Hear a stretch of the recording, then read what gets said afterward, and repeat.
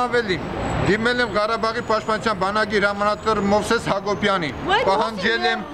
զենքի շարժի մասին տեղեկանք։ Տվելա կեղծ տեղեկանք։ Զենքը որ գրանցված չի որտիս անունով, տվելա կեղծ տեղեկանք, թե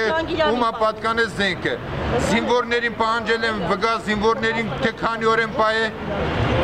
ռազմական ոստիկանություն Ստեփանակերտում նույնպես տվելա կեղծ տեղեկանք։ Զինվորն ինձ ասում է 8 օր, նա ինձ տրամադրել է տեղեկանք 2 օր։ Զինվորն ինձ ասում է 28 օր, ինքը տվել է 2 օր։ Ես ինչպես վստահ եմ Պաշտպանության բանակի հրամանատար Մովսես Հակոբյանի տված տեղեկանքին եւ այսօր գնամ հասնեմ Ղարաբաղի հանրապետություն մասնակցեմ դադական լիստերի պահանջել եմ ու պահանջում եմ որբիսի Բորդու սպանության դադական լիստերը անցկացվեն Հայաստանի հանրապետության մայրաքաղաքում որտեւ ասել եմ Բորդու սպանել են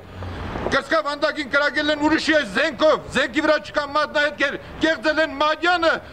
քնիչ Դերանի Գիգիտյան վիժվածքը զինվորի ներկայությամբ սրբում է զենքը, ուղարկում է փորձակնությանի զենքի վրա չկա մատնահետքեր։ Ոչխար, ում ես ես շիտեղ դրա ինչ ես մակրել զենքի վրա իմ մատնահետքեր։ Դու ինչ իրավունք ունես զենքի վրա մատնահետքեր մակրես անել զինվորի ներկայությամբ։ ավելացրել